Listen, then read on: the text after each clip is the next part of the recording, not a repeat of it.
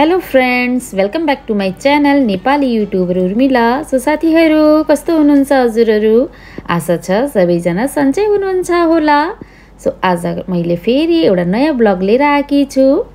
साथीहरू स्किप नगरिकन हेरिदिनु होला र साथ सपोर्ट दिनुहोला यतिसम्म तपाईँहरूले मलाई साथ सपोर्ट दिनुभएको छ। त्यसको लागि धेरै धेरै धन्यवाद। सो साथीहरू मेरो ब्लग स्टार्ट भयो। यहाँ चाहिँ मैले भर्खरै दोकान गएर यो चाहिँ मर्निङको बेलाको ब्लग हो है साथीहरू। सो म भर्खर दोकान गएर अनि आएँ यो निङ्ग्रो लिएर आएकी छु मैले सिजनको सब्जी है। अब बर्खा लाग्न थाल्यो बर्खामा निग्रो पाइन पाइने मौसम हो होइन। र काँक्रा मुला गाजर लिएर आएकी छु अनि त्यसैसँगै परवल पनि लिएर आएकी छु साथीहरू।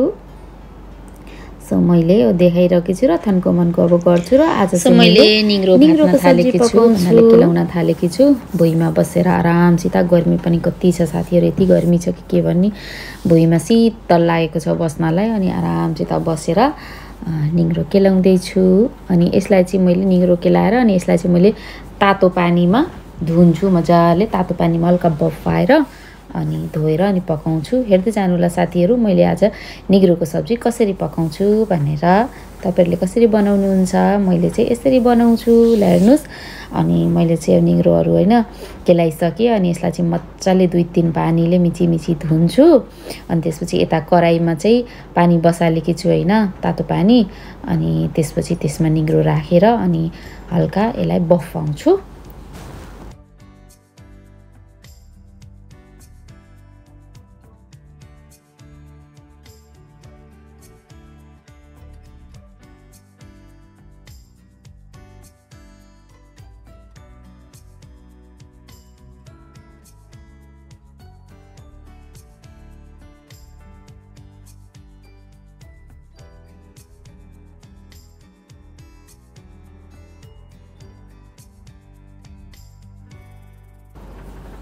अब मैले दुई तिन मिनट जति तातो पानीमा राखेँ होइन अनि तातो पानीमा राखेपछि हल्का बफ्यो होइन भन्नाले यसको जो त्यो हुन्छ नि निग्रोको अलिकति कस्तो मलाई चाहिँ एकदमै हल्का स्मेल आउँछ कि गनाउने जस्तो हुन्छ नि त्यो तातो पानीले पखालेपछि भन्दा यसरी बफाएपछि चाहिँ त्यो स्मेल चाहिँ जान्छ त्यो गन्ध चाहिँ जान्छ।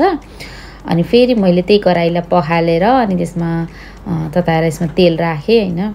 अब हेर्नु मैले कसरी बनाउँछु। सँगसँगै यो ग्यास पनि पुसपास पार्दै गर्छु। मेरो कामै यस्तो हो साथीहरू। सबै काम एकैचोटि गर्दै गर्छु। यहाँ सब्जी पनि पकाउँदै गर्छु होइन? जस्तो खाना पनि पकाउँदै गर्छु। उता भाँडाहरू पनि धोइधाइ पार्छु उता पुसपास पनि पार्छु। सबै एकैचोटि गर्दै जान्छु। र यहाँ मैले तेल तताएर यसमा जिरा राखेँ। अनि अब यसमा मैले आलु राखेँ। आलु र प्याज सँगसँगै राखेँ। साथीहरू प्याज छुट्टै राखेन जिरा फुराएन त्यसपछि आलु प्याज सँगसँगै राखेर यसलाई मजाले भुट्छु। अनि अब हेर्दै जानुहोस् कसरी कसरी बनाउने छु मैले।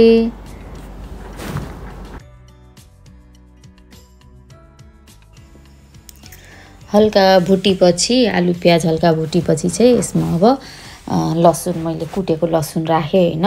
अब अदुवा पनि राख्न सक्नुहुन्छ। अदुवा लसुन दुइटै कुटेर तर मैले चाहिँ लसुन कुटेर राखेको छु। अदुवा राखिनँ। अनि यसलाई मजाले चलाउने। त्यसपछि यसमा बेसार नुन राख्ने होइन? स्वादअनुसार बेसार अनि स्वादअनुसार नुन राख्ने अनि त्यसपछि मजाले चलाउने अनि त्यसपछि यसमा धुलो मसला। होइन सब्जी मसला धुलो मसला भन्नाले सब्जी मसला राखिदिने। तपाईँहरूले जिराहरू पिसेर पनि राख्न सक्नुहुन्छ तर मैले चाहिँ धुलो मसला राखेँ अनि त्यसपछि सँगसँगै मैले यो बफाएको जो निग्रो थियो हो त्यसलाई राखिदिएँ अनि यसलाई मजाले चलाउने ताकि मसला सबैतिर लागोस्। अनि मजाले चलाएर अनि त्यसपछि टमाटर र खुर्सानी मैले सँगै काटेको हुन्छु होइन। अनि त्यसलाई चाहिँ साइडमा राखिदिएँ। साइडमा राखेर अनि फेरि ढाकिदिएँ यसलाई। अनि ढाकेर यसलाई स्लो आगोमा पकाउँछु साथीहरू। अनि स्लो आगोमा गरेपछि अनि यसरी ढक्न निकालेपछि टमाटर पाकिसकेको छैन अनि त्यसलाई चाहिँ साइडमै एकदमै मैले त्यसलाई थिच्छु होइन। एकदमै मसिनो गराउँछु टमाटरलाई। अनि त्यसपछि सबैतिर यसरी मिलाइदिन्छु।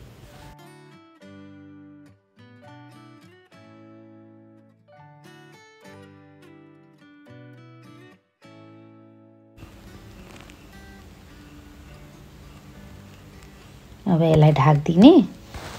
अनि त्यसपछि दुई तिन मिनटपछि फेरि यसलाई ढकना निकालेर हेर्नै मजाले पाकिसक्यो सब्जी।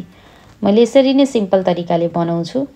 यो चाहिँ मैले सिम्पल तरिका नै मैले मैले यसलाई भन्छु। तपाईँले चाहिँ के भन्नुहुन्छ तपाईँले चाहिँ कसरी पकाउनुहुन्छ भन्नुहोला। र मेरो निग्रो र आलुको रेसिपी तयार भयो।